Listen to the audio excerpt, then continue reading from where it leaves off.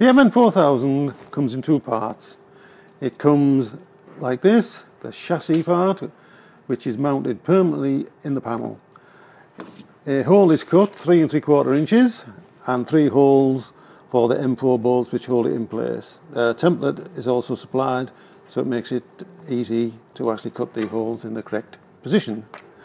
On the back of the chassis mount there's two connections 12 to 30 volts DC for the power supply and Ethernet for the communications part to talk to your PLC and also there is a LED flash unit here which can be enabled in software or not which enables you to see visually if the panel area is dark. And as you can see the chassis mount is here permanently and it's completely sealed in the panel. There's a standard 2 inch IR window here.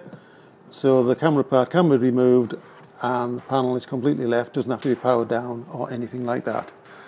And the camera package is like so and it just plugs into position. The camera part is now plugged on and as you can see here it's displaying the thermal image. Screw this in first camera package has just been plugged in and as you can see it's now displaying the thermal image